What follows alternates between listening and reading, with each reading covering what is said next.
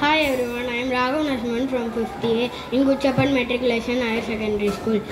Now I am going to do one simple science experiment called air occupies space.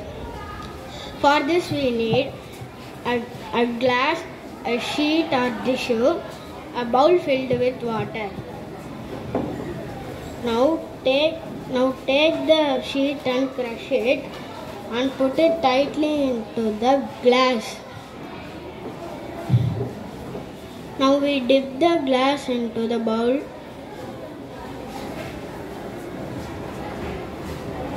Now slowly take it out and shake the extends water.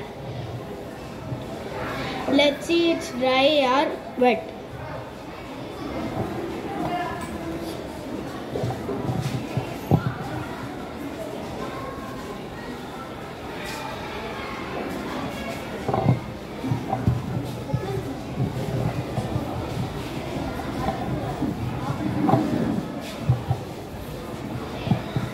It's dry because air it's dry because air occupied space. There is no space to the water. Thank you.